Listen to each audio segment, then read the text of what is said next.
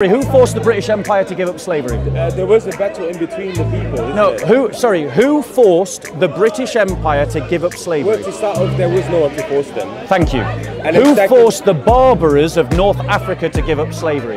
Well, it was agreements between. The, No, it wasn't. It was done by the Americans, and they did it by blowing the out of Tripoli. And I absolutely have no respect for any Muslim argument that tries to play that down or tries to justify it. It is identical to if some Belgium apologist turned to you as a Congolese and said that what the Belgian king did in Congo was justified. Did you finish though? The reality is, Did you finish though? Muhammad bought and sold slaves.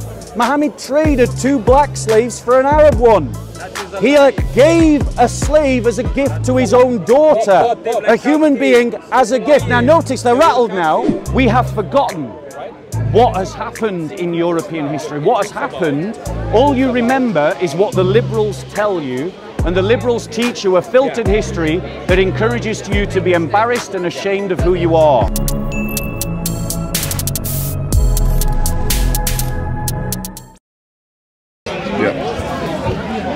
Because it's based upon the idea of privacy Yeah. and of maintaining a person's privacy, and you can't get from privacy to abortion. Yeah. But now, but the point is, But it, that, the point is, the point is, in the American system, you see, even the American human-made system is better than Islam, because in the American system, you have judges that are identified by the state to be judges.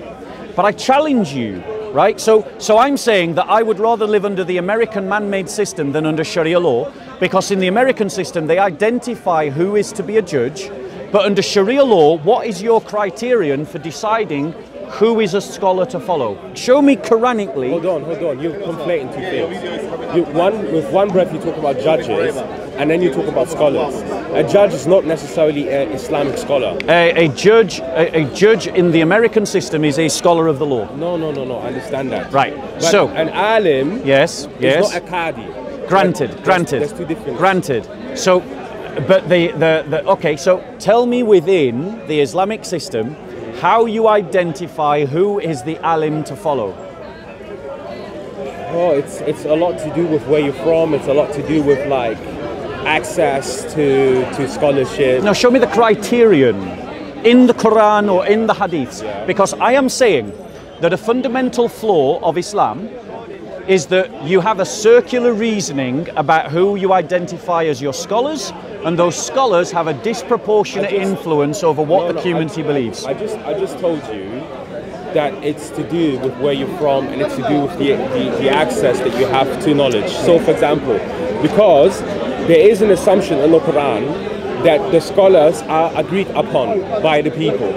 So this is one aspect. The other aspect is that, and you know this quite well, that there is a tradition that we trace back all the way to the Prophet Muhammad. So, for example, the reason why the majority of people, geographically speaking, are Hanafis in Southeast Asia and Central Asia is to do with the fact that the the the uh, companion who had migrated to that region has influenced greatly that region, and his ideas have influenced it. And then obviously it's morphed. And then you have the Hanafi strand. You go to the east coast of Africa, you have the Malikis. Why? Again, because of historical events that took place and the early Muslims who came there. So it's, it's very similar to like uh, Christianity with Can, can I? Can, no, it's not. It's really not because within the Christian faith we, they have this idea of apostolic succession. So there is a clear succession of I just bishop. that to you. No, no, no. You you haven't explained any criterion. I've which told you. No, I didn't interrupt you. Don't No, but you interrupt me. but you- Don't. no, you no. cut d- me off. You did cut me No, off. no, I wasn't even s- finished. s- I, I- sorry, I thought you had finished. Yeah. If there's something you want to add, add. But I, I'm. Yeah, Yeah. I'll let you finish and then I'll reply. Sure, So, what else do you want to add on to what you were Yeah, saying? well, so based upon that, there is a clear lineage that, uh, and that's different. It's like a tree, and there's different branches Yeah, of that yeah, lineage. yeah. But if you trace them back, they all go back to the Prophet Muhammad, and Muslims tend to be in between that umbrella. Okay. Can I oh, oh, reply? Yeah, sure. Okay, so I'm, I still haven't seen any criterion. What I've heard is an opinion, what I've heard is a conjecture, and what I've heard is a description of a historical process. And I have no dispute about, I mean, I do have disputes about the historical process, but for the moment, to progress the argument, I'm just going to allow it. Yeah. But my, my point to you is that in the Christian faith, there's a very clear explanation of how leadership is passed forward.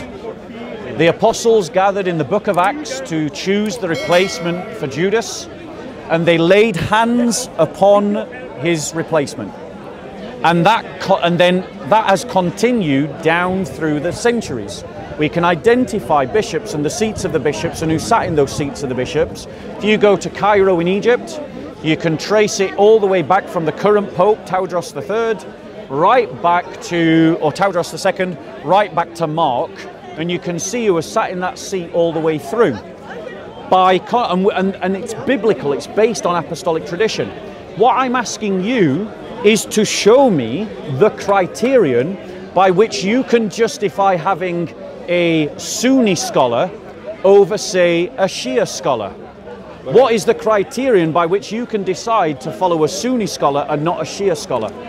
Do you, I will answer, but Yeah. um, I, I want to ask you a question. Do you follow Eastern Orthodox Christians? I'm just a Christian.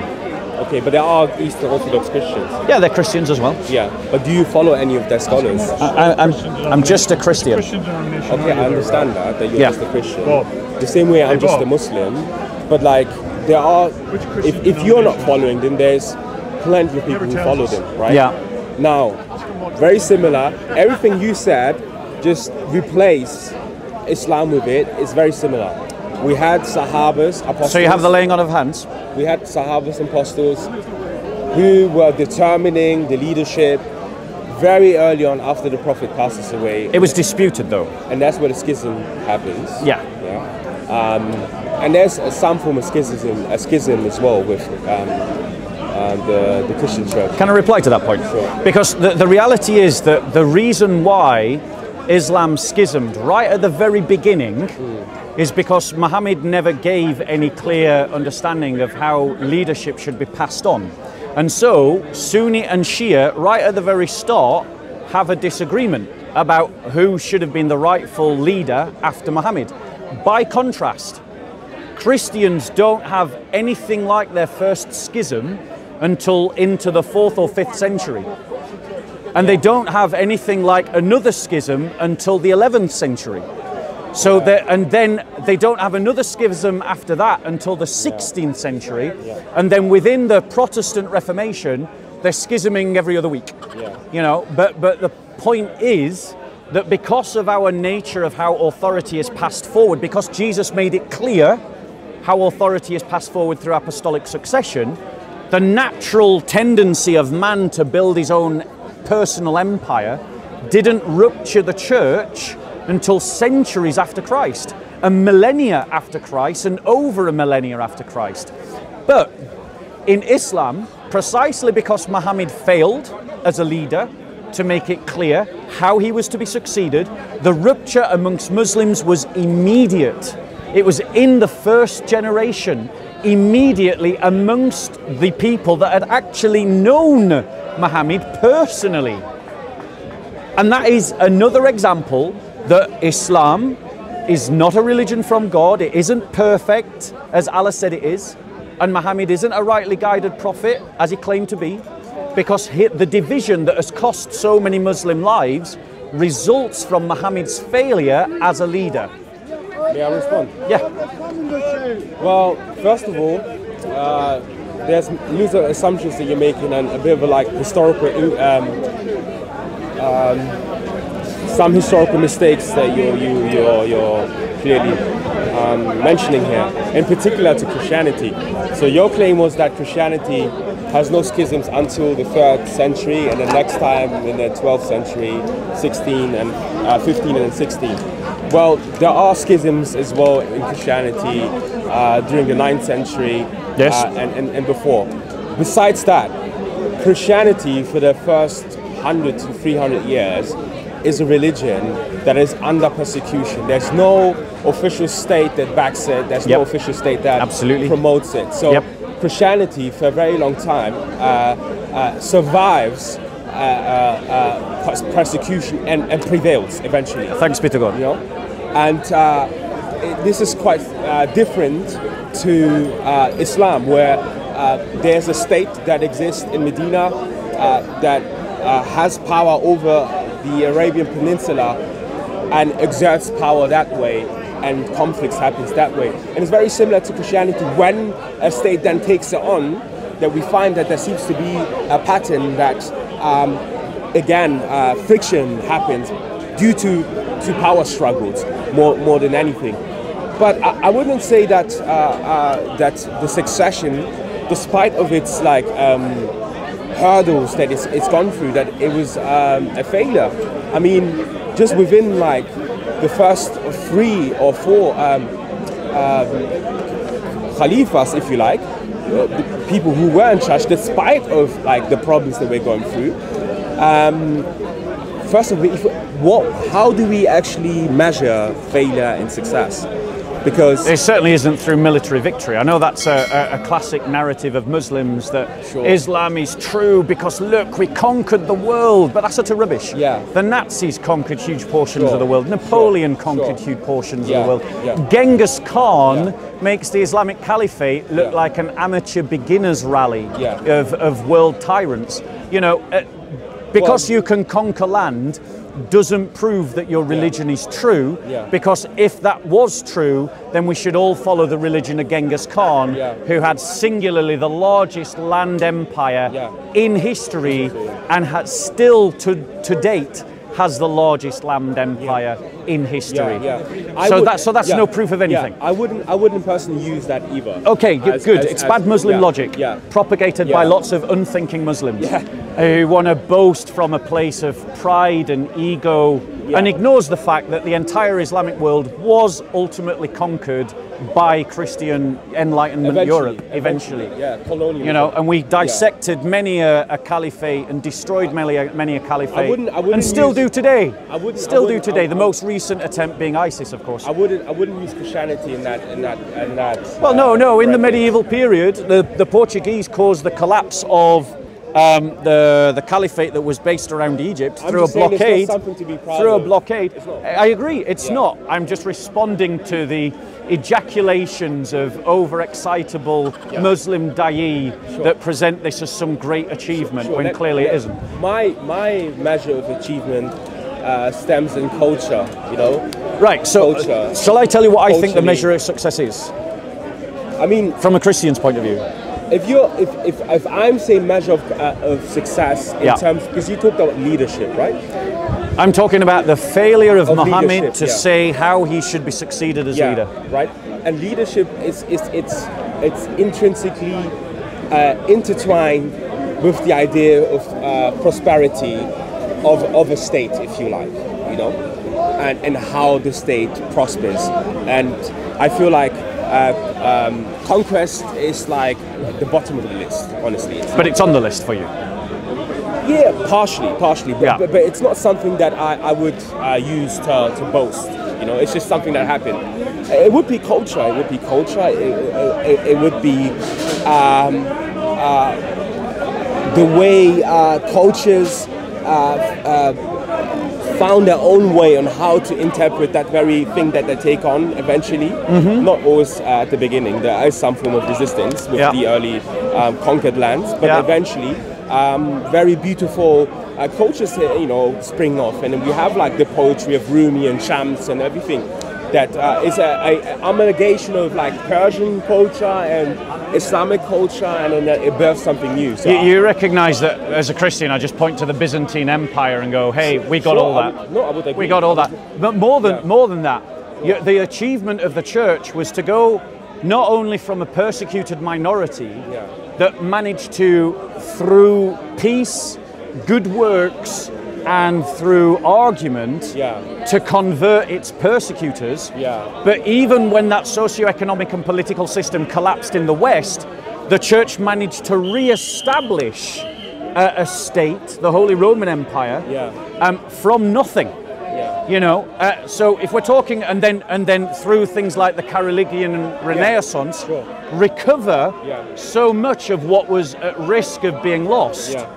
And so, if we're talking about cultural achievements, I, I personally think that that's, you know, if that's your criterion, I think it's a very poor one. Why? Uh, it's a very poor one because all I do is point to the Byzantine Empire and the Holy Roman Empire, and I've got enough ammunition there to counter not- any achievement within the No, Islamic I'm, world. I'm, I'm not. I'm not But- measuring the two empires. I'm. I'm just stating. but what to I, but I was going to, I was going to come to and fin. it- to- It's to- also arguably on who had to- more influence. so- I mean, so- it's, it's an argument that we can make here. Yeah. So, so to land on my point Sure. is that despite the fact that when we Christians converted the Roman Empire, we converted the whole of the Roman Empire.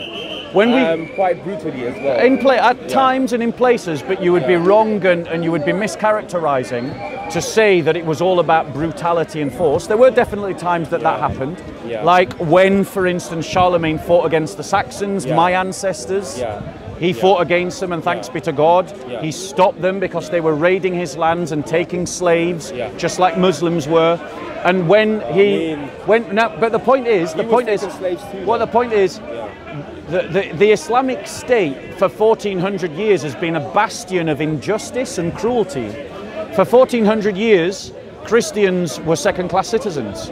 For 1400 years, Jews were second class citizens.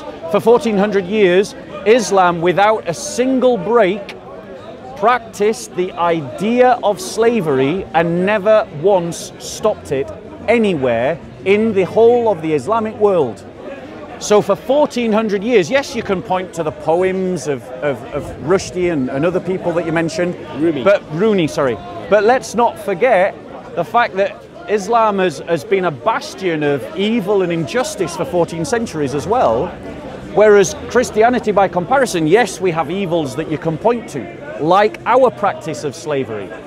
But as a Christian, I can point to regions, countries, and continents where we stopped the slave trade, for instance, where we restrained the hand of violence, for instance. Sorry, sorry. It's all right. Where we restrained the hand of violence, for instance. You know, the Byzantines preferred the idea of of basically paying their enemies Yeah. not to wage war Yeah. rather than fighting Yeah. fighting for the Byzantium after the conversion to Christianity was a last resort, not a first resort. Did you? Are you aware of that? No, I'm new to me. It's Yeah, new to me. yeah, because yeah, th- there were economic reasons for it as well. I mean, I, mean, I don't want to say it was all spiritual, but in the Christian faith, Yeah. if you committed the sin of violence, even as a soldier, you had to do penance. Even as a soldier, because we always understood that killing someone was killing someone imbued with the image of God, even if that someone was a pagan or a jihadi Muslim. Yeah. So a soldier would do penance for fighting in wars and killing. Yeah. Um, I mean, look, and, and, and uh, you're you seem to be someone who's very like you know uh, aware of history, you know, and you you know your history, right? And the same way you said to me, it would be like a mischaracterization to to pinpoint uh, like mishaps that happen in Christianity. And you know what? I I'll be even honest. I'll even go as far to say that on the surface it may look like Christianity, but usually it was like some other political motivations behind these atrocities. And like I would argue the same way that yeah, you're right that there are certain things in Islamic history that are very horrendous and very obnoxious and not humane that happen and are tragedies. But then also there's a lot of like good that came out of it, you know, and I can pinpoint as well. And I wouldn't dispute that. right? So I feel like in this conversation in particular, we're kind of in the same boat. So if there was like an atheist who wants to come, But that's the point that I made at, right at the beginning is, Yeah. is pointing to the good and the bad of, of our civilizations Yeah. gets us nowhere. Yeah. What we need to look at is what does the religion teach? yeah, yeah, Right? yeah. And the you know, the practice of slavery, for instance, is constituted clearly within the text of Islam as something Yeah. that you can do Yeah. and should do, Yeah. especially to those captured in war. yeah, That's undeniable. so you- that's why for 1400 years Yeah. there was never an emancipation movement. The only time there was an emancipation movement in the Islamic world is when Christian gunboats went to North African cities and bombed them into submission. Yeah. That was the only time that the Muslims gave up slavery. Yeah, um, we Christians gave up slavery by choice We Christians had to force you to give up slavery. It was not choice, by the way. Sorry, who forced the British Empire to give up slavery? Uh, there was a battle in between the people. Isn't No, it? who? Sorry, who forced the British Empire to give up slavery? Well, to start off, there was no one to force them. Thank you. And Who exactly- forced the Barbarers of North Africa to give up slavery? Well, it was agreements between. The, No, it wasn't. It was done by the Americans, and they did it by blowing the out of Tripoli, no, there was- as did the French and the There British. Was, there were treaties between actually. Done at gunpoint. There These was- were not negotiations. They were done at gunpoint. You're misrepresenting the history. I'm not. You are. People I- can check it for themselves. Yeah, they can. Go and look I'm- at the, I'm- the I'm- Barbary I'm pirates. so And, um, confident. I'm go and look at the American wars against the Barbary Yeah, pirates. yeah. You were forced to give up slavery. You didn't do it by choice. Sure. So, and then also, whilst you're looking at those uh, battles, you, got, you come very, very uh, quickly to conclusion that the uh, Moroccan uh, kingdom, in fact, was the first country, not the European countries who were fighting against America, but a Muslim country that acknowledged the autonomy of the North American state. There was treaties that led uh, to the evolution of uh, uh, of like taken slaves, American slaves. They were like hostages, for example, in Tripoli and, and in places like Fez. And the Americans were able to negotiate the freedom of these slaves via having alliances with the Moroccans. Um, what I wanted to say to you is this. It is true that uh, we can't necessarily look at the good and the bad that happens. Yeah, uh, but are you history. are you slavery because it's constituted in the Yeah. Islamic text? So yeah, thank you. So I wanted to come to something. You, I, I- I believe you have made assumptions. So you said constitution, constituted. What? Can you explain to me what you mean by constituted? by, by what I meant by constituted is it is embodied. As in, I can look at a verse in the Quran that legitimizes the, the buying and the selling of slaves, the use of slaves, the treatment of slaves. And therefore, it is constituted, it is embodied in the text Yeah. that you can have slaves. And that is the reason why, for 1400 years, Muslims practiced slavery. And the principal victim of the Islamic slave trade were Christians from Armenia, Christians from Eastern Europe, Christians from Western Europe, Christians from Georgia, Christians from uh, um, around the Middle East, and Christians, fr- uh, sorry, and Hindus and Buddhists. They were the principal victims of the Islamic slave trade. It's um. One million European Christians were taken as slaves in the Islamic slave It's quite trade. irrelevant for you to mention Christians because I mentioned Buddhists and Hindus. sure, or any other religions, because with the same breath, have you not ever wondered, and this is documented, have you not ever wondered how uh, this seemingly perfect system was able to, uh, you know, uh, procure so many slaves out of Europe? Uh, You didn't procure them, you No. stole them from our families. may I finish? I'm allowing you. Sorry. there is some strange reason uh, such a, a, a, a perfect system that exists uh, uh, between uh, you know the you know the, the taking of slaves by the Ottomans in particular. Why was that? Now I came across this uh, uh, what's it called?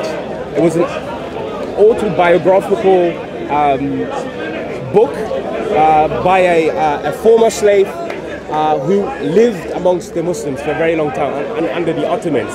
And it's like a historical account that he tells about. And, uh, and that historical account was actually a trend that was taking place in the northern parts of New Europe, the Scandinavian countries like uh, Iceland uh, and Denmark and all these places. He, he, he tells a story on how he was captured by Christians. He was captured by Christians and was then sold to the Ottomans. So that's why I was saying that in a way it's kind of relevant to mention that because uh, the, the, the, the, the, the order of the day was slavery. And some people were more involved in it. There was a uh, demand and what's the other word? Demand and Supply. supply uh, uh, problem that existed in Europe, and, and and there has have been unfortunately many many Christians were um, by Christians and then sold to. the Can I reply to this? Because this, this kind of um, Islamic mythos that's being created to rewrite history. And it is based purely on apologetic. And it's based purely on apologetic because Muslims feel the sting of the criticism that Islam teaches slavery and therefore Muslims practice slavery for 1400 years and never had an emancipation movement, except when Christian gunboats forced you to stop. The reality is, we don't need you to tell us our history. You're from the Congo. Is that correct? Yes. Right. You know what the Belgians did to the Congolese. There's no point, you would never accept some Belgium apologist trying to justify the genocide that was committed against the Congolese people because you know your history as a Congolese. Yeah. Well, believe me when I tell you, I'm a Christian. I know the history of how we were brutalized by Islamic armies that came into our towns crying out Allahu Akbar, killed our men, raped our women, desecrated our churches, and kidnapped our children. And, and I absolutely have no respect for any Muslim argument that tries to play that down or tries to justify it. It is identical to if some Belgium apologist turned to you as a Congolese and said that what the Belgian king did in Congo was justified. It was a brutal, savage act and it went on for centuries Yeah. and you did not stop it by choice. You were forced to stop it. You were beaten by us. We crushed your armies. We destroyed your empires. And then we forced you to abolish the slave trade. You did not do it by choice.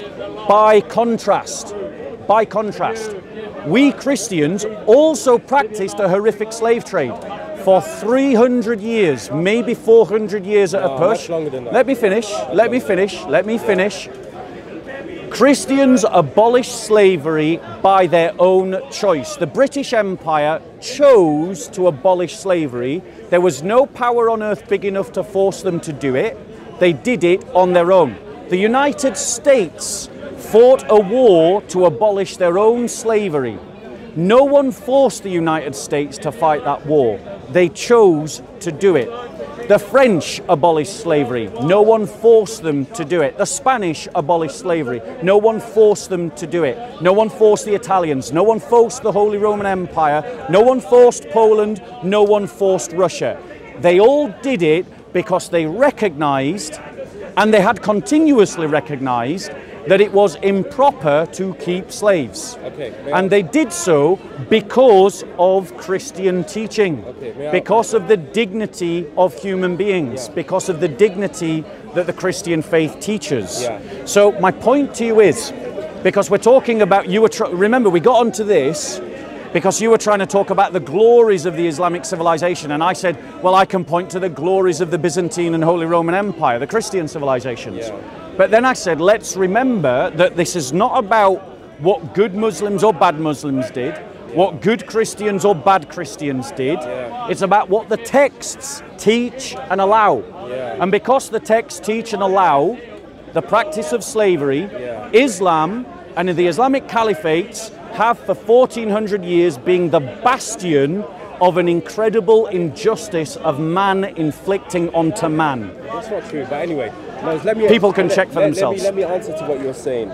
So first, when I mentioned to you that, so are you disputing that there weren't uh, movements of Christians who were taking other Christians as slaves? Are you disputing? No, I'm not disputing that. Okay. What I'm pointing out is what you're not pointing out is that Christians have always fought against slavery for 2,000 years and have always sought to end slavery for 2,000 years. But you cannot point to me an emancipation movement that's 1,400 years old because there never was one in Islam. you're saying that Christian has fought 2,000 years. That's not true. I'll show you. We have, in, we have periods of. Anyway, I don't want to go into it. So that's the other thing. No, you've made a claim. Yeah, yeah, we no, now need to on, look at whether it's true No, or not. But you mentioned a lot of things, so obviously I have to respond to all of them, isn't it? Um, what was the other thing you were talking about? Oh, I forgot. So coming coming back to Was there an emancipation movement in Islam? That's basically no, there wasn't. No, but like, doubt. no, but this is what I'm trying to say. Before we even talk about em- emancipation, all these things, they're not. th- These things didn't happen like he was arguing because of Christianity. They did. solely. No. They did. What what inspired William? finish, what inspired William Wilberforce? Let me let me finish. Okay. these are not the reasons why these things happen solely. Yes, you're right in the sense that there was a Christian group of people who were who realized that they had gone wrong, that the church had gone wrong Yep. uh, about slavery, and they were doing the utmost to change that. So the British Empire did not just decide to change their opinions. There was a struggle that led to that uh, decision to be made. Secondly, the reasons why the emancipation period happens is because of the social economical reasons uh, that, that were taking place. Slavery was not uh, as profitable any longer and as sustainable any longer to be maintained because the uh, Industrial Revolution came in and basically uh, slavery in a way became obsolete. That's why we have documentations of the English Empire, uh, the English Empire uh, paying reparation to s- former slave owners Something that no Islamic empire has ever done. um, yes, I can give you examples. Uh, the, uh, because the former slave owners were, were losing, uh, ironically, on profit by having slaves. So the government said, look, let these slaves go, we will reimburse you. And the motivation there was not Christianity. Yes, there might be some influence of it, but the motivation was purely economical. You mentioned French. You said the French abolished slavery because they were. Yeah, yeah, right. No one forced them. Whoa. Who forced them? France was had colonized Haiti. Okay, let me finish. Let me finish. You're gonna have to listen to this. It's not addressing the point. Yeah, I, I am addressing the point. French had colonized Haiti for a very, very long time. And for anyone who has a bit of understanding of history knows that France did not emancipate Haiti. France lost against Haiti Yeah. because the former slaves in Haiti fought against the, uh, the, the, French people. Good for or them. Haiti had to. So because of that, some French colonies in North Carolina had to be sold because they had lost Haiti. So this idea that this like you know European Christian you know movement that emerged out of the goodness of Jesus Christ to emancipate uh, slaves, it was not just that simple. It was not just that No, no, no. Now let me answer about the emancipation in Islam that you're talking about, right? So you're saying that for some strange reason there does not uh, there does not appear a, uh, a, a- a movement, a so-called movement called emancipation period.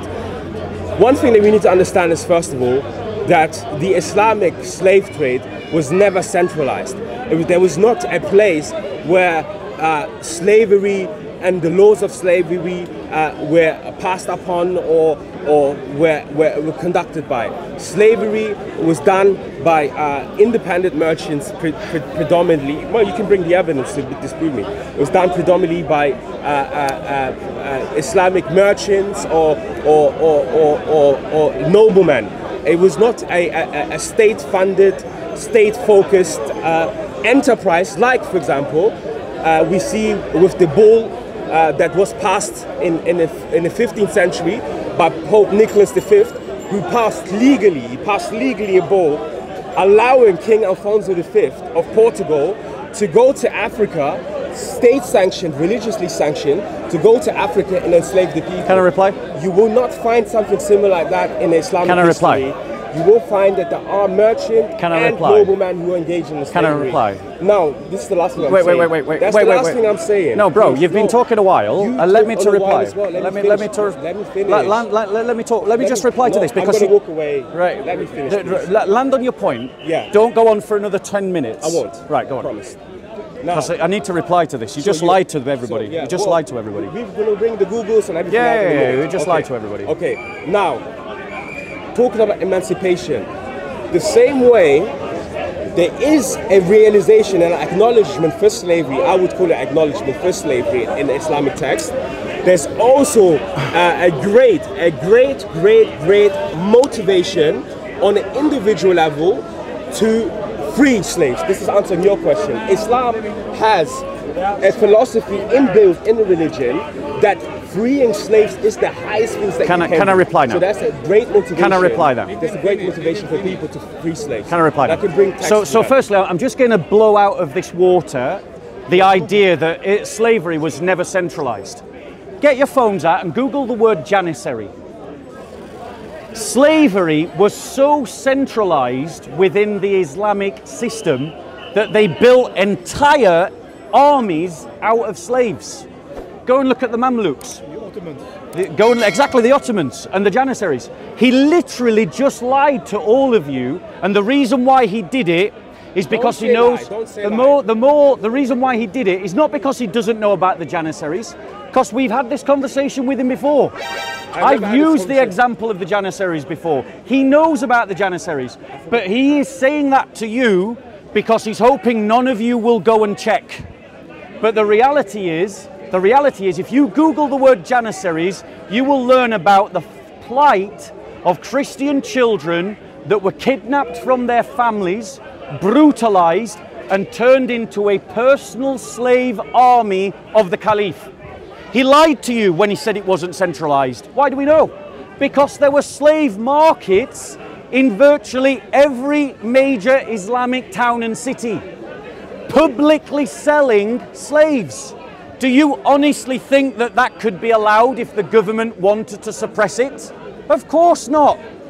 But the reason why you could find slave markets in every Islamic town and city throughout every Islamic caliphate for the last 1,400 years, and the only group in our entire world that still today is practicing slavery, where I can go and buy a black child for less than a McDonald's, is in the Islamic world, in Khartoum, in North Sudan, in Malawi, and other places in North Africa. The only group, the only group, ladies and gentlemen, that have tried recently to re-establish slavery are Muslims.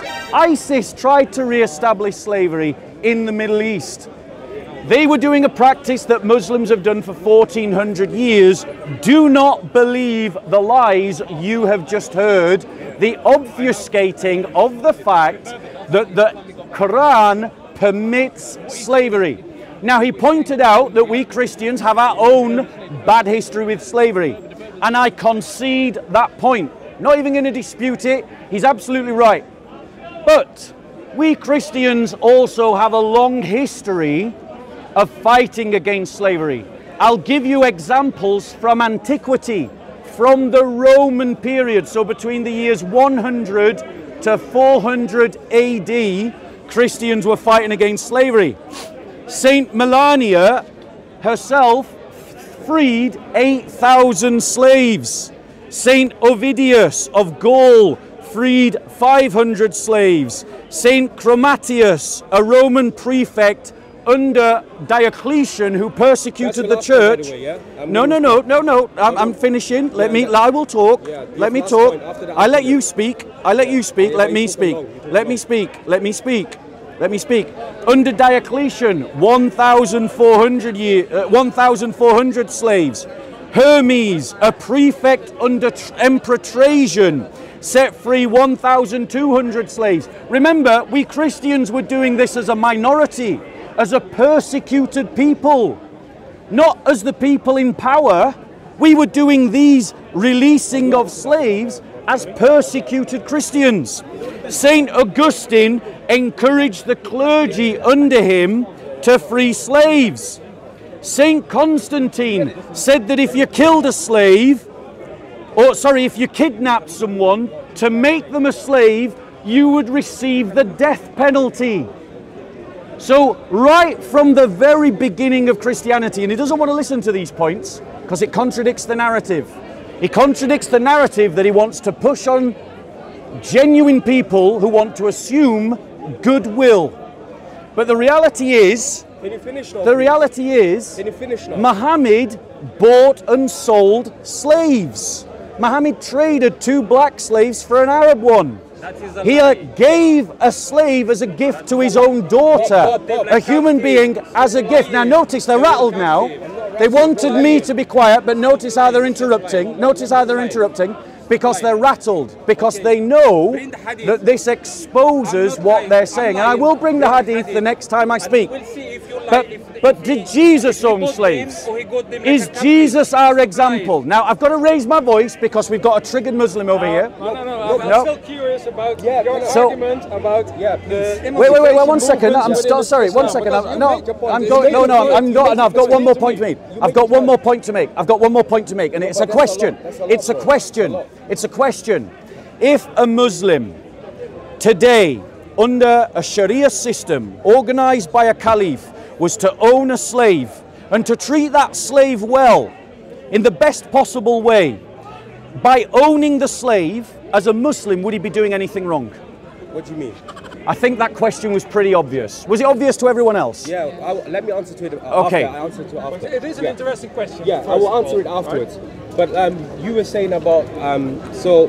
First of all, I do not appreciate that the first thing that you had to do was say I'm a liar and, and, and attack me personally. You know, we haven't had this discussion. can do as they are We have a discussion here.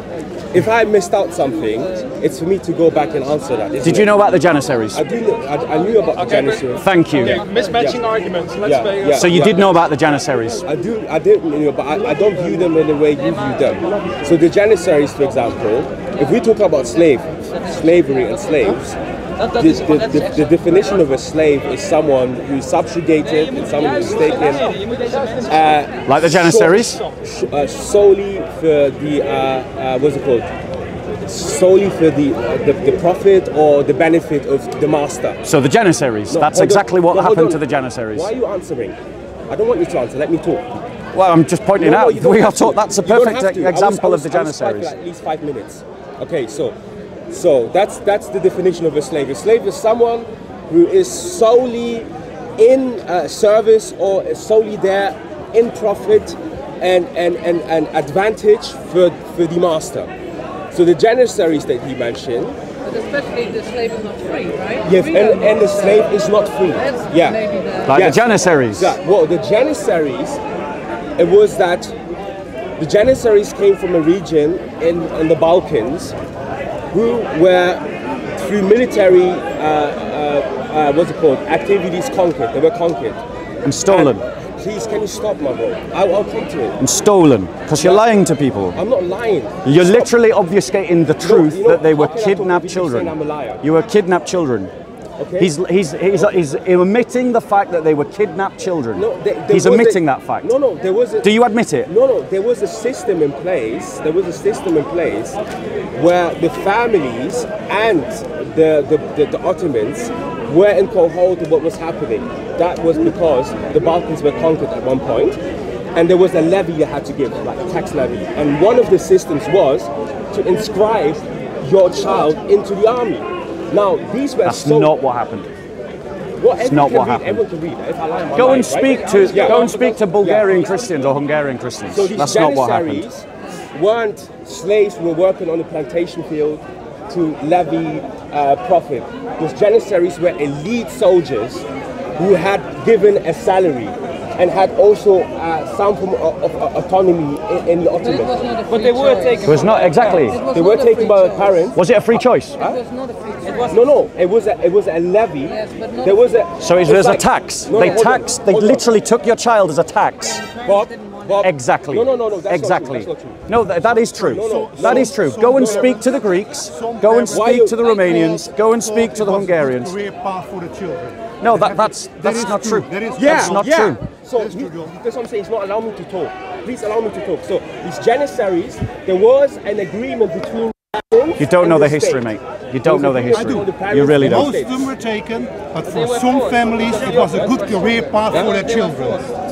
No, no, no. No, they were forced. No, no. It's like You're absolutely It's right. not- They were forced. The Ottomans were strong. They didn't have a No, no, choice not like- to agree. it's like- They didn't have a it's choice not to agree. when, Um, you know when there's You know, history is never simple. yeah, you know when It's there's it's never black Not- and white. not- not all. Yeah. It was simple. So what, what he says was some parents probably thought it was a good choice. Because there was a form of social mobility And- that, but, that but existed. it was not a free choice. Yeah. Those children, those parents There's loved their balance. faith Thank and they did much. not want to give their children up. I think They you want to hid their children. guys About, unfortunately, I was trying to convey. They hid their children. However, however, How do you feel about it? yeah. How do you, how do you Well, no, about no, First no. of all, are you Islamic yourself? Yeah, I'm a Muslim. Yeah. So that, No. that must must bring up some feelings. No, no. He celebrates it. It's, it's to do with my understanding of it, right? Uh-huh. So, the reason, so Thank you. Islam isn't per se against slavery because what Islam was doing was when, when it came, there was slavery already in existence. There was an ex- existent slave system. So what Islam was doing was that, and some some uh, scholars argue that, that it was trying to wean off people of slavery by having these individual things like the manumission of slaves. That that's the highest thing that an individual can do. That if you have a slave, that the highest thing that you can do is to um, free a slave. Free a slave. So that's why it That- that- doesn't. that's really weird, right? Yeah. yeah. So it doesn't fit in in the in in, in, in, in the context of like there is a clear injunction in Islam that says slavery is forbidden. Um, the same way it, Sorry. it, it does with with uh, the Eu- Western European understanding of, of slavery, and also it has also to do with how slaves are viewed. Slave, for example, the term slavery has a very Eurocentric, uh, a very Eurocentric, uh, what's it called, uh, connotation to it. You know, slaves being the Slavic people of Eastern European uh, descent. And, and, and, and, and, and, through the English language, we adopted it as, as but there are certain That's where the forms. word comes from. Yeah, but there are certain forms of English. servitude that we wouldn't say is a transatlantic slave trade. For example, the Russian, the Russian serfs, right? The Russian serfs weren't in the classical sense slaves, right? They had their own land to work on, but they had to levy taxes again. Same thing with feudalism. So I think when we talk about these things, they're very nuanced, and we have to be very careful what terms that we use. Can I can you I can jump come back? You can come back. Can I can I Yeah, jump into this conversation? I haven't finished. Can, can I can I ask Designed can I jump into this conversation, or do you not want to hear what I I've will talk about it after. Like, I would like to invite him and talk to me because I would say- unfortunately, what he's doing right now, he's he's missing out huge amounts of not information in his apologetic. um, He's missing out huge amounts of information. or- that I'm filling you in on. or He really is. He really is. So, so the reality is, he's talking about you know how Islam says free slaves. What he forgets to tell you is, the system has managed to maintain the large. It was based upon you took slaves through conquest. And so the amount of slaves coming in was always huge compared to the amount of slaves leaving. The reality is there's real choices that we have to face. Like in the West, we're taught to be objective, we're taught to be neutral. That's our natural disposition. But the reality is that in what kind of civilization we build, based very much about what its its fundamental premises are. If your fundamental premises are Islam, you have no basis to get rid of slavery, and that's why the Muslim world has never got rid of slavery. And you heard him admit that Islam has nothing against slavery. In other words, slavery is perpetual. Your, your pre-assumption that Christianity is based on equality, I do not quite. I, I I didn't make that argument. No, but if you turn it around, So let me let, let me deal with that. So so the Christian faith, as I tried to demonstrate, we we abandoned our slavery by choice, not by force. No one forced Britain. Britain was the superpower of its time. It gave up slavery by choice. No one was big enough to force us to do it. But but the point, and we've been doing that all the way through history. You go and look. The first time slavery was abolished in England was in 1068 when William the Conqueror conquered England, he said to the Saxons, slavery is not compatible with Christianity, and he abolished slavery. based on the, the assumption of equality of people. Uh, you mean? Based on. amongst Christians, but they Ye- could, they yes. could enslave non-Christians. So let's come to that. Let's come to that. Let's come to that. Let's come to that. No, let's come to that. Because it's true that the abolition of slavery certainly started from amongst Christians, but logically, Christians built on that principle to include non Christians as well, which is why we abolish slavery even for non Christians as well. And I want to show you the biblical basis. Now, remember, he said that the Quran does not teach against slavery. But the book of Philemon, which is one of the principal texts of European civilization, because it's in the Bible, and the Bible is a principal text of European civilization, says this. Right? Philemon was a slave owner. And Paul was writing to Philemon, the slave owner, about a slave called Onesimus. Read, this is what he says, and I'll just highlight the key points. Therefore, this is Paul speaking, though I, Paul, have enough confidence in Christ to order you to do what is proper, yet for love's sake, rather, I appeal to you. So he's saying, I have the authority to command you to do something that is right. Now listen to what he says is the right thing to do. I appeal to you for my child, Onesimus, the slave, whom I have begotten in my imprisonment, who formerly was useless to you, but now is useful both to you and to me. So he's saying, I could command you to do the right thing about Onesimus, but I'm not. I'm appealing to you. I'm appealing about Onesimus because he's useful. But without your consent, I did not want to do anything so that your goodness would not be in effect by compulsion, but of your own free will.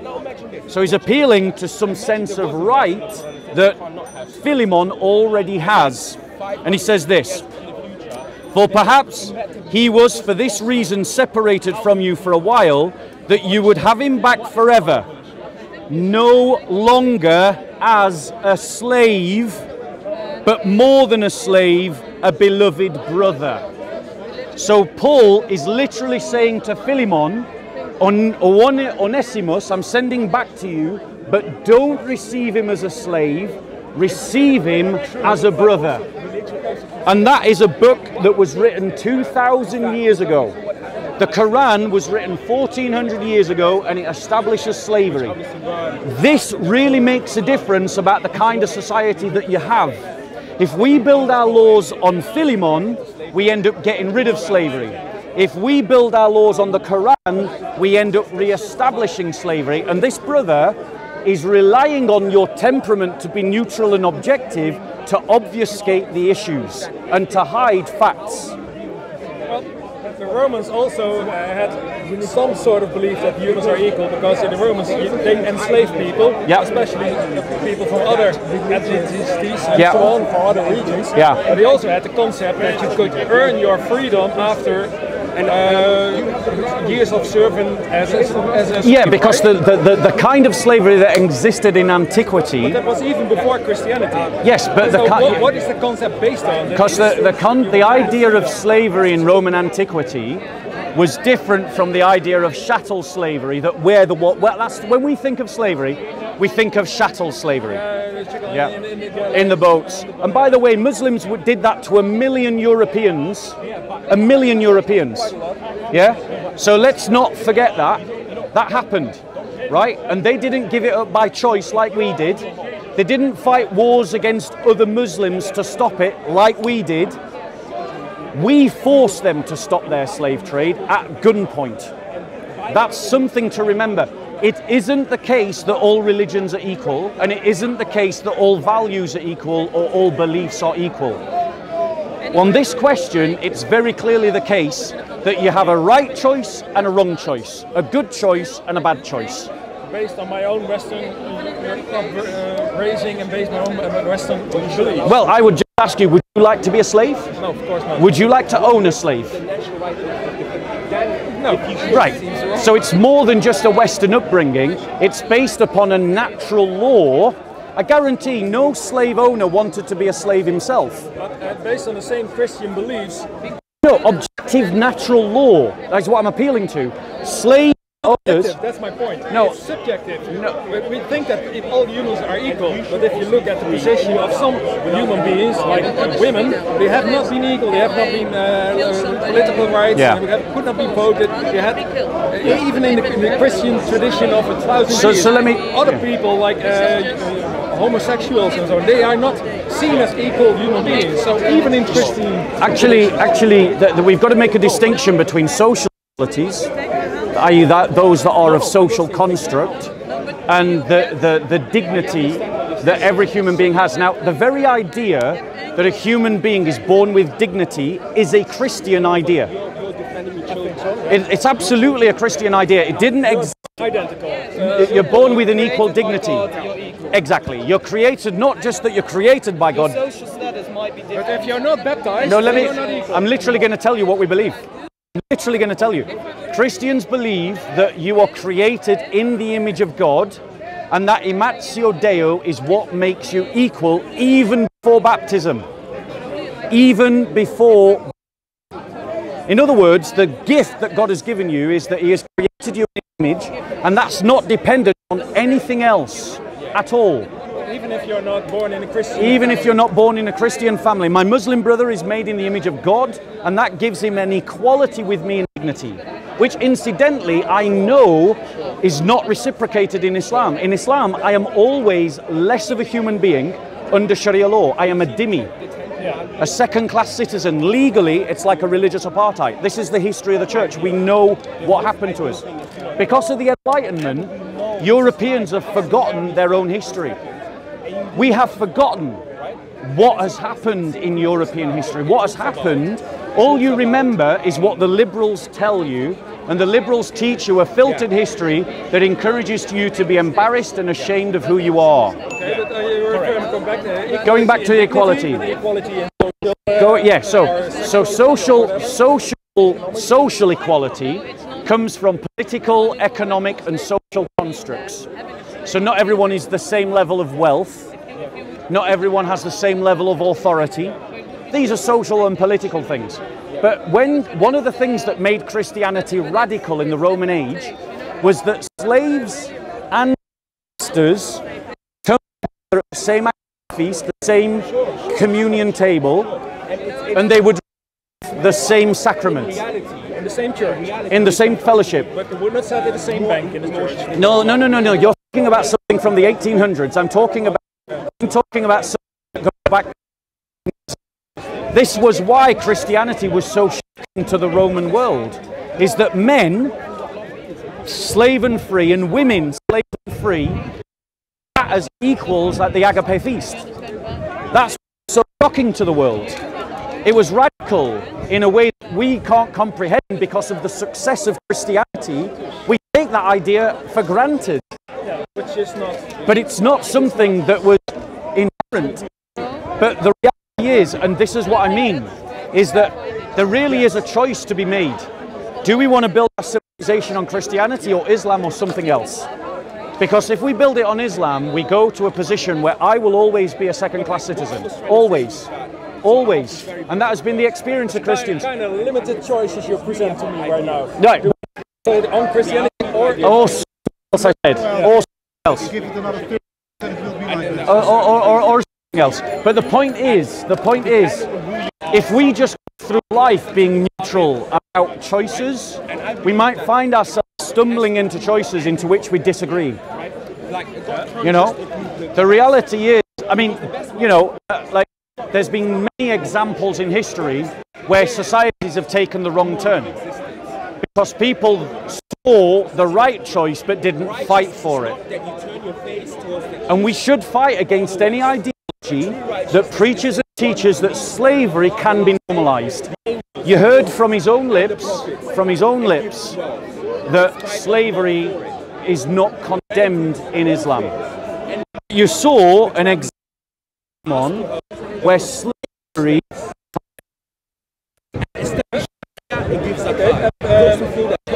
slavery.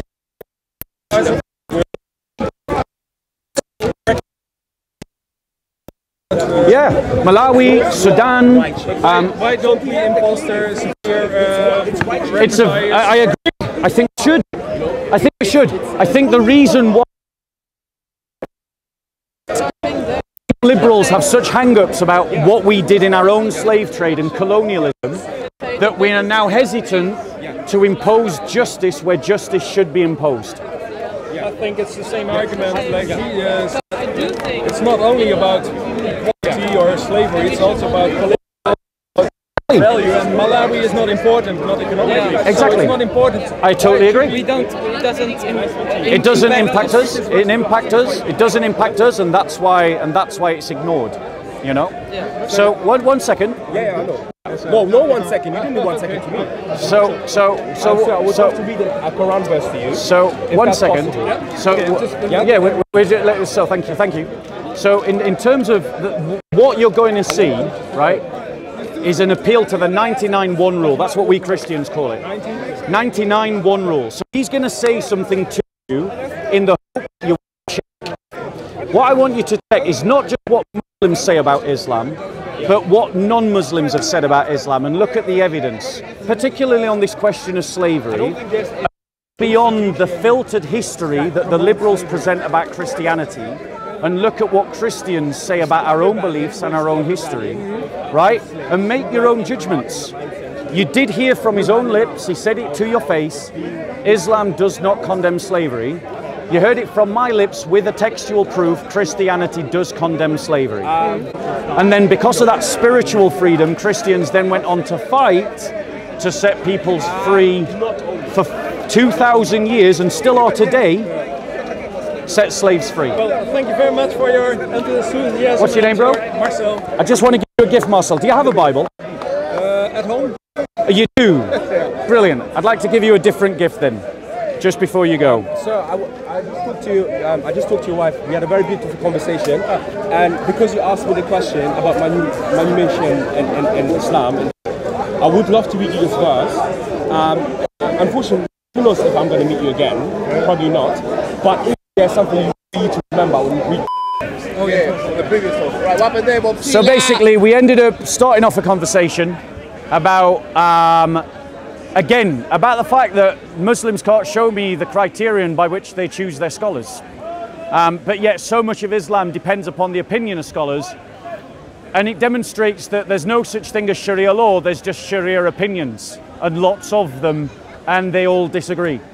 Um, but then we ended up getting into the, the kind of appeal to look at Islamic greatness, the greatness of our civilization. Well, if you're going to make that argument, then let's look at all the injustices of Islamic civilization.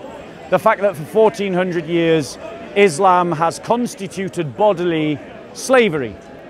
And unlike Christian slave trade that was given up by free choice and without force by Christian civilizations, the Islamic slave trade continued until those same Christian civilizations forced the Muslims to stop slavery. And that speaks volumes.